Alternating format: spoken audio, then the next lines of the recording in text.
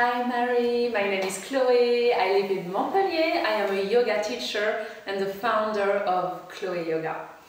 My mission is to help and inspire people to connect deeply to themselves and others, to show and let them experience the way of gratitude, love, listening, attention and presence.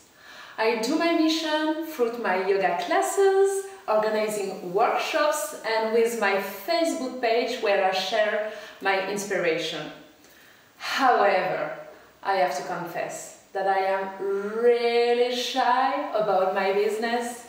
Actually, I am hiding it under the yoga mat. And here you come, Marie. You are such an inspiration. You've got the most amazing tools that I need to be comfortable with my business and to show up in the world. Woo! Magic pillow!